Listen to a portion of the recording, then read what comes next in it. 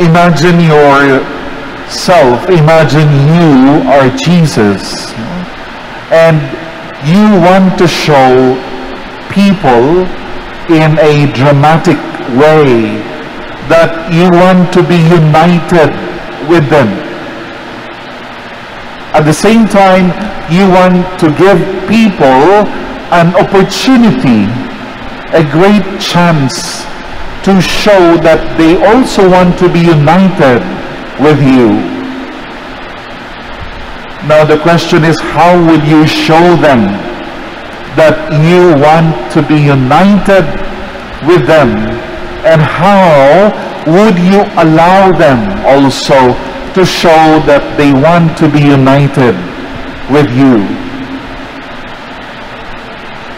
We find the answer in today's gospel reading, in the Sunday's gospel reading. Jesus gives himself to us in the form of food. The reason Jesus does this is that food and the person who eats it become one. Thus, by giving himself to us as a food, Jesus shows his desire, pinapakita ng Panginoon na kanyang ang kanyang minimithi, ang kanyang gusto, the, the, the deepest desire to become one with us. At the same time, He gives us a way, an opportunity to show our desire to become one with Him. How? By receiving Him in our heart and body in the form of food. Jesus clearly says in the gospel, For my flesh is true food, and my blood is true drink. Whoever eats my flesh and drinks my blood remains in me, and I in him. We celebrate today the solemnity of the most holy body and blood of Christ, the Corpus Christi.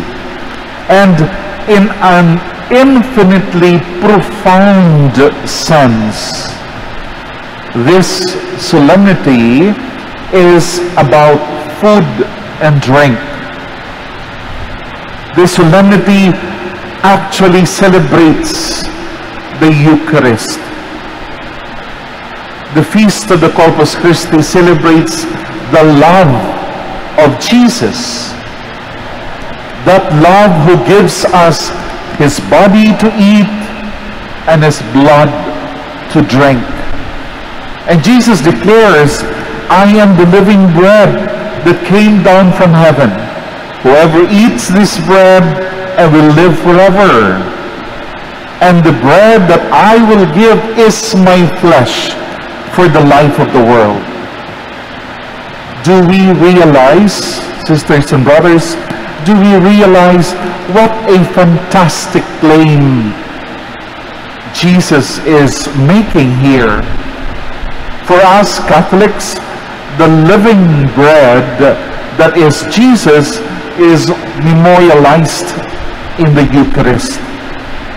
Jesus becomes fully present to us in the bread and wine in the Eucharist. God not only became flesh for us no? Years ago in a country far away, God also becomes food and drink for us now at this very moment of the Eucharistic celebration. Sa bawat pagdiriwang natin ng Eucharistia, kasama natin ng Diyos, tinatanggap natin ng Diyos ang kanyang buhay, ang Panginoon ng kanyang buhay na katawan. God does not hold back God gives all, hindi lang bahagi ng, ng kanyang sarili ang inialay sa atin. He gives all. That is the mystery of the incarnation. As Henry Newen, a very famous spiritual writer, says about this matter, he says, and I quote, Incarnation and Eucharist are the two expressions of the immense self-giving love of God. The word that best expre- expresses this mystery of God's total self-giving love is communion. Communion. It contains the truth that in and through Jesus, God wants not only to teach us, God not only wants not only to instruct us or inspire us, but to become one with us. As Henri Nouwen puts it, God desires, God desires to be fully united with us so that all of God and all of us can be bound together in a lasting love.